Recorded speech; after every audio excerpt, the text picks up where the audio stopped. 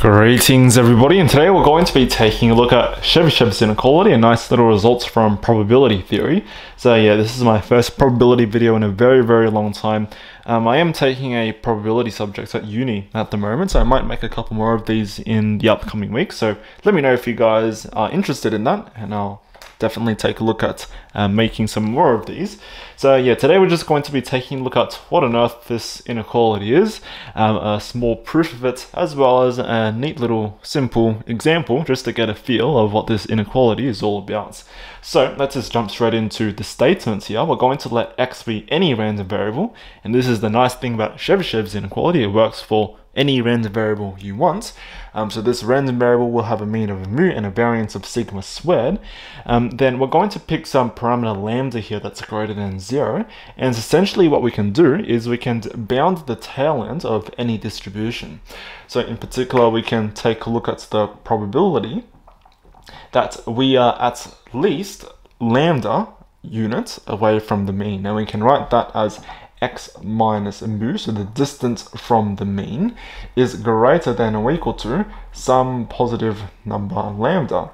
So this is the probability of getting in the tail end, and we can bound this above by sigma squared over lambda squared. So that's quite nice. Um, so what this is saying is if you, let's just draw a picture here, let's say this is any distribution you want, so any crazy thing.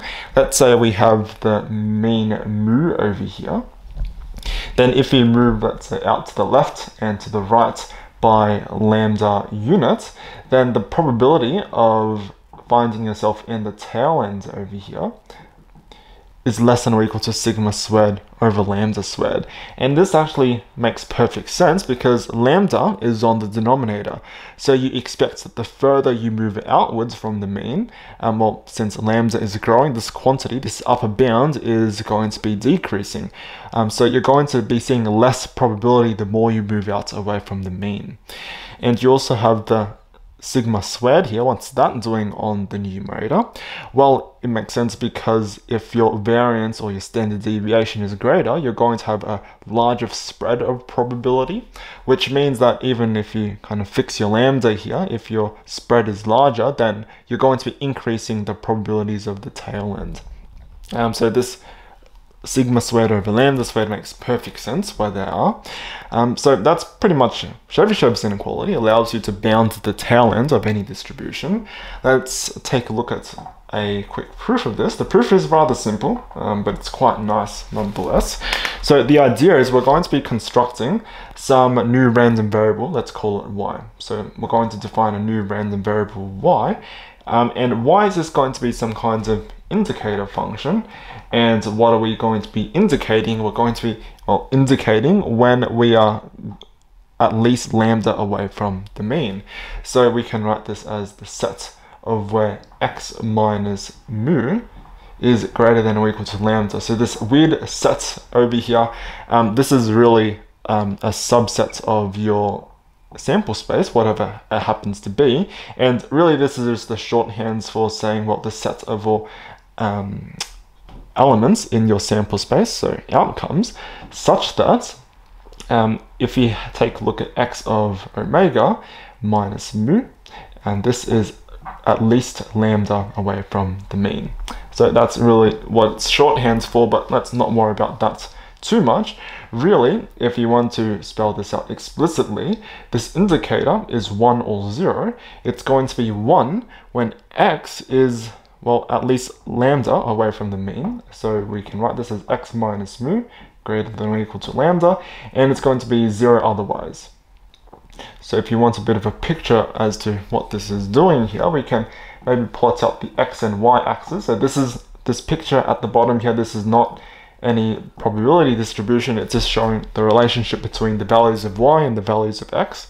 So if x is more than lambda from the mean, we're going to be at a value of 1 for y, so something like this.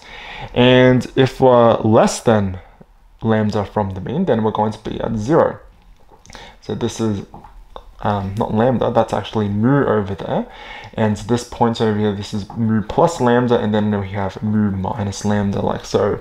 That's roughly what um, y and x are doing. So we're going to start off with this over here, this definition. And what we're going to do is we're going to be taking a look at the expectation of y. Now here's the nice thing, the expectation of y is going to recover this exact probability on the left hand side. So this actually works out quite well because if you take a look at the definition of expectation, it's basically the values times the associated probabilities and you add all of them together. So what are the values for y? It's 1 and 0. So if you write out the formula, it's going to be 1 times the probability that this happens, and then plus 0 times the probability that the complement here happens. But 0 times anything is not 0, so you're left with 1 times the probability of this guy over here. So that's the nice thing about the indicator function. If you take its expectation, it's the probability of whenever this 1 here happens. So x minus mu um, greater than or equal to lambda, um, like so. So what we want to do now is we want to bound this probability, which means we well, equivalently, we could find a bound for the expectation of y. And we can do this by taking a look at our random variable y and finding an upper bound for that random variable. So that's exactly what we're going to be doing. We're going to be taking a look at how we can bound our random variable y here.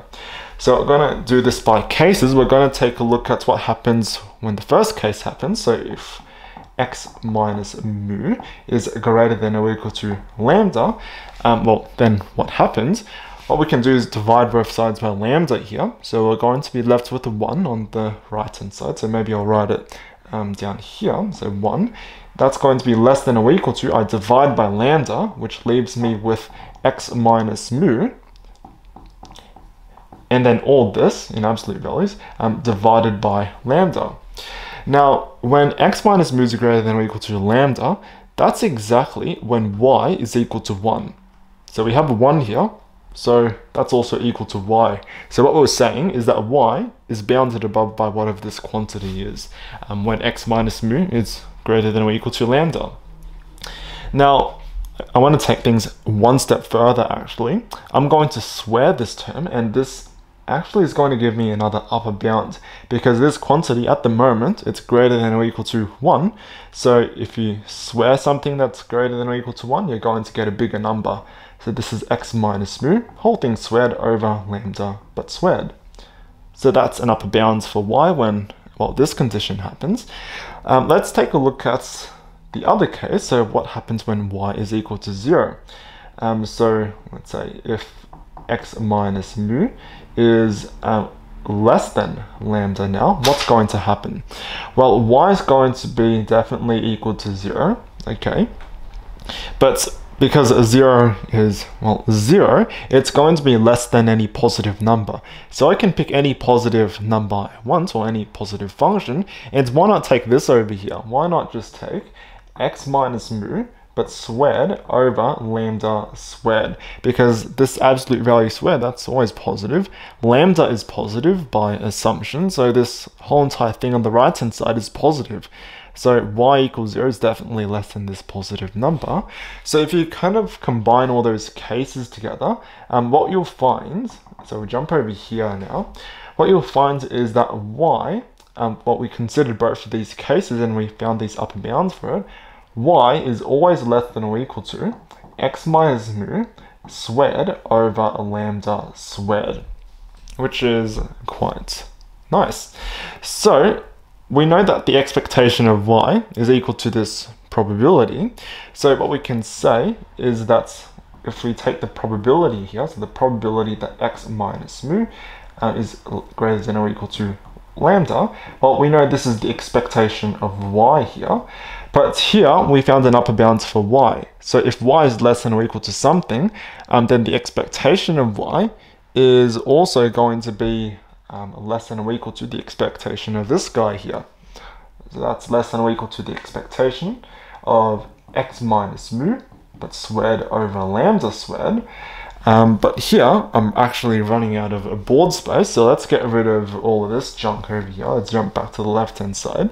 What we can say from here, so we have y at the moment, this is a less than, or actually the probability, let's write that down, the probability of x minus mu greater than or equal to lambda. At the moment, and we know it's less than or equal to this guy, but now we can use properties, the linear property of the expectation to bring this lambda squared out. So this is 1 over lambda squared. And then we have the expected value of x minus mu and the whole thing squared. But you'll notice one thing here, x minus mu squared in the ex expectation, that's exactly the definition of variance. So this here is equal to sigma squared over lambda squared. And that basically completes the proof. So the probability of um, finding yourself in this tail end is bounded above by this quantity.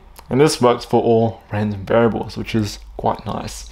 So that's pretty much the proof of Chebyshev's inequality. I think there's um, quite a few other variations of this as well, but this is the one that I found in my textbook or my um, notes, I guess, for my subject. So um, I'll just use this one here, but there's plenty more proofs or variations of this proof. Um, so that's Chebyshev's inequality. Um, just a remark though, it's also related to what's known as the Markov inequality. So the Markov inequality goes as follows if I can spell Markov right, it's a Markov inequality. What does this guy tell us? It tells us if you take the probability of the absolute value of a random variable greater than or equal to some lambda parameter, just like before, then you can bound again this tail end probability from above by the expected value of x to the k in absolute values, like so, divided by lambda also raised to the k. So Markov inequality, it's kind of like a generalization in a way of the Chebyshev's inequality, um, but here you take a look at the kth moments, um, where Chebyshev's inequality, you only take a look at second moments, and the proof of this is basically the exact same, but instead of um, that step where we um, bounded, I think it was x minus mu over lambda by x minus mu over lambda squared, you basically turn this into the kth power. So the proof is basically the exact same. That's Markov's inequality, which is closely related as well. So that's Chebyshev's inequality. Let's take a look at a quick example just to finish off this video. So the example we'll take a look at over here is let's suppose we have some x, which is a random variable, of course. And we're going to suppose that the mean of x is equal to 500 and we also have the standard deviation, actually this the variance of x is equal to 100. And the question is, what well, finds the probability that um, 400 is less than x is less than 600. So the way you do this is, well, notice first of all, this is symmetric about the mean. The mean is 500 and we're dealing with 400 and 600. So what we can do is kind of shift things over to center ourselves around the mean. So we're going to get the probability that minus 100 is less than x minus 500. So I'm just subtracting 500 everywhere and this is less than 100. Okay, so this is nice and symmetric now, so what we can do is we can rewrite this as the probability that the distance x minus 500, so x from the mean, is actually going to be at most 100. Now this seems a bit funny here because, well, this is less than, so we're not really taking a look at the tail and the probabilities, but we can turn it into the form that we want for Chebyshev's inequality by just taking the complement. So this is equal to 1 minus the probability that we have x minus 500 absolute value is greater than or equal to 100. And here, since we're taking a look at the tail end probabilities, we can just apply Chebyshev's inequality. We just have to be careful though that this is not a less than or equal to because we're taking a minus here. So because we're bounding this probability from above and it's negative, we're over here we're actually finding a lower bound so this is greater than or equal to we have 1 minus so here 500 that's um, mu 100 that's exactly lambda so it's going to be um, greater than or equal to 1 minus sigma squared but that's 100 divided by um, lambda squared, but that's 100 squared. So this is equal to 1 minus 1 over 100, or 0 0.99. So what is this saying here? Let's do a picture over here. So in this case, the mean is 500. So let's put that here. We have any random distribution we want. Um, let's say this is 400 and this is 600 over here. Then what this is saying that the probability of finding yourself between 400 and 600 uh, has to be greater than 0.99. So between 400 and 600 um, is basically the whole distribution or almost the whole distribution. So it's impossible for this probability to be 0.98 or something. It has to be greater than or equal to 0.99.